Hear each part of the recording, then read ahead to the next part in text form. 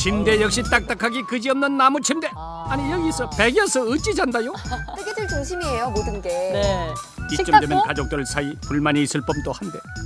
무늬 중심. 있죠 있죠. 아따 참말 흘리지 말고 좀 뭐. 아, 이거 흘린다 내가. 이거 이거 봐. 아까 막밥뭐 괜찮네 이래 잘 올리겠네. 이렇게 안네 이라니까네. 이거 포 별로 안 나네.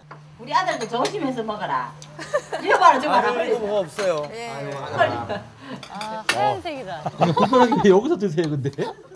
여기서 꼭 먹어야 되는데. 아, 먹어도. 밥을 먹어도 좋은 데서 먹어야 되는데. 딱 한 자리에서. 아 그래서 맨날 불편해요. 맨날 뭐라 하고. 그래 그래. 깔고 있어도 뜨개질 작품은 모셔야 되는 상전이다 상전. 이거. 아, 식사가 끝나고. 어머. 여기가 제 방이거든요 어, 아 여기요? 예. 어 그래서 남자 방인데 예. 아 아들방 레이스들로 아들방. 어쩐지. 들면 남자방. 백설공주가 꿈속에서 날아올 듯한 이곳이 바로 베이스 저 친구들이 알면 되게 약 올립니다. 나이 스물다섯에 이건 무슨 공주방도 공주방 나름이지 학교 갔다 오면 밖에 있고 학교 갔다 오면 뭐 플러스 돼 있고 아무 말도 안 하기 때문에 막 그냥 그러고 했, 했어요. 어, 아무, 아무 말 안 하는 게 아니라 그냥 참고 있었던 것 같은데 온 집안을 뜨개질 천국으로 만들어 놓은 아주머니. 아주머니는 어쩌다 이런 대규모의 뜨개질을 하게 된 걸까? 남편은 바깥에 잘 그때 당시는 나가는 시간이 많으니까 어, 이렇게 막 스트레스를 받으려 하니까 이게 끝이 없더라고요.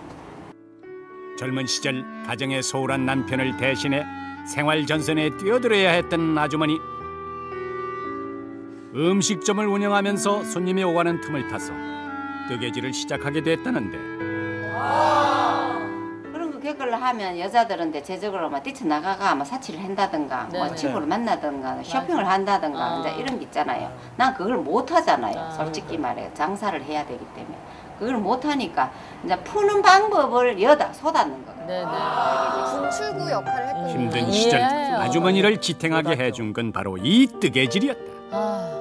잡생각을 없애고 자, 요 시간을 많이 이렇게 활용할 수 있는 것이 이제 이렇게 그 대형화를 하니까는 그게 활용이 되더라고 그 시간. 이게 뭐, 뭐 하염없이 해야 되니까. 네. 보람도 있으시고요. 금방 끝나는 소품 대신 남들은 엄두도 내지 못하는 대형 작품을 뜨며 아 주머니는 힘든 세월을 버티고 이겨나갈 수 있었던 것. 이게 보통 세월이 아 저 보통 지금 생각해 보면은 뭐 그때는 뭐 좀 철이 없었고 아무래도 어, 너무 뭐 고생을 많이 시키는 것 같고 보통 노력으로는 만들 수 없는 작품. 관리하는 일도 만만치 않다는데 저거 어떻게 세탁해요? 손세탁. 일일이 손빨래하는 것은 물론 삶아요. 새하얀 색을 되찾기 위해서 삶기까지 표백제로 삶고. 여기서 끝이 아니다. 넣을 때도 또 야. 저게 뭐예요? 커튼 풀. 위에다 붙는 이것은 아따 풀 오랜만에 보는구만. 어, 안 하면 써가지고. 머리 같이 이쁘게 형이 안, 모, 모양이 안 나와요. 아 약간 힘이. 힘이 생기게요. 빳빳하게. 뻣뻣하게. 가실가실하게 그렇게. 풀 먹인 커튼을 말려주면 그제서야 빨래 끝.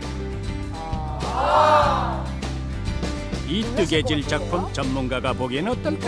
진짜 어우, 처음 보실걸요? 전문가 수준이에요.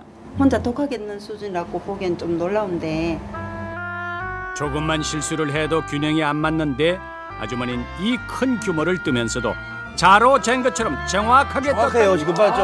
꽃 그다음에 여태까지 밑에. 헛살았다는 생각은 안 들어. 틈만 나면 뜨개질 삼매경인 아주머니 이번엔 제작진을 위해서 선물을 하나 해주겠다는데 바로 카메라 손잡이와 렌즈 덮개 어, 이쁘다. 마음 같았으면은 이 커튼을 하나 짜갖고 선물하고 싶은데 그럼 우리 집 1년 살아야 되는데 할 수 있겠어요? 그럼요. 그건 안될 네. 것 같고 진짜 이쁜데요? 예뻐요. 이뻐요. 네. 오, 이거 고맙습니다. 와 옷과 옷 입은 아이처럼 야, 카메라도. 금세 고와졌다 이 뜨개질은 어떤 의미예요? 내 생의 전부죠. 어, 뭐라고 얘기하고 여자로서 여자의 일생에서 뭐 아무래도 최고 아니겠습니까? 그동안엔 뜨개질로 어려움을 이겨냈다면 앞으로는 뜨개질과 함께 쭉 행복하세요.